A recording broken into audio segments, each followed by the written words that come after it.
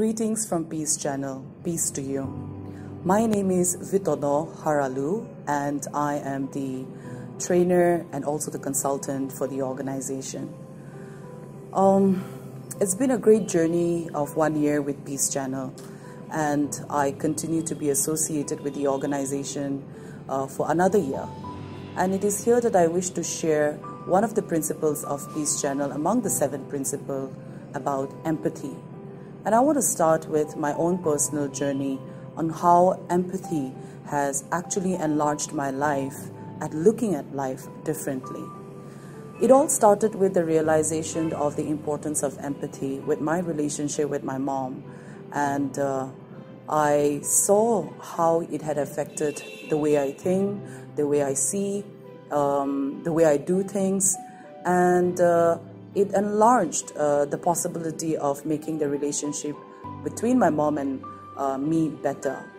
You see, I had a very tough childhood, especially when being the eldest among uh, the three siblings, uh, along with my older brother.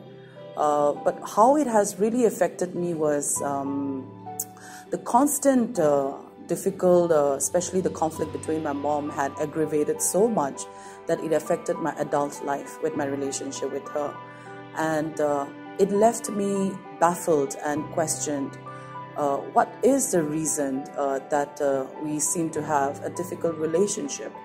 And this had actually affected a lot of the other relationship in the family also.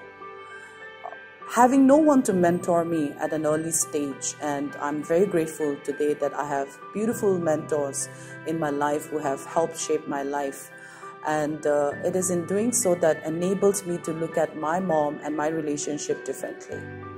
You see, um, in the search, especially on soul searching with uh, my own self, uh, I was able to tumble upon this question why this conflict between us? And it took me to the journey of searching. And uh, in that search, I found out that my mom had gone through a painful experience during her childhood that led to have a repeating um, culture and perhaps uh, thinking uh, that got on passed to me. And uh, it was the same kind of relationship that she had shared in her childhood that was being transferred to me. The anger, the frustration, the dissatisfaction, the hurts, the pain. And uh, it also helped me look at my mom as a person and not as my mother. And this was suggested by a mentor of mine when she saw me that I was really tormented with my experiences and how it was affecting me in my growth and how it was not nurturing me in a healthy manner. So she took me to a journey of empathy where she asked me to look at my mom um, as a person. And when I did that, it enabled me to see what she was feeling and why she was feeling and what made her become what she became.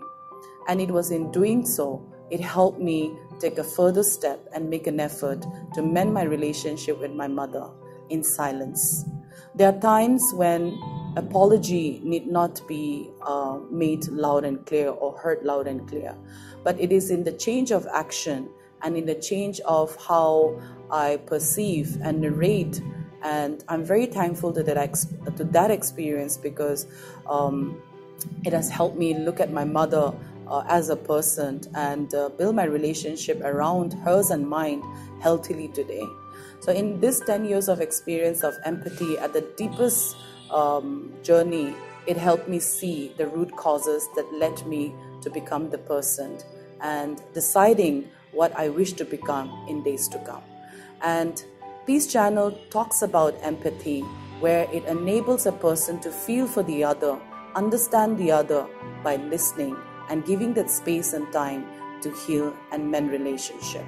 And I thank Peace Channel for enlarging my life and my world and giving this opportunity to share my life experiences of healing and relationship becoming bigger with others. Thank you and peace to you.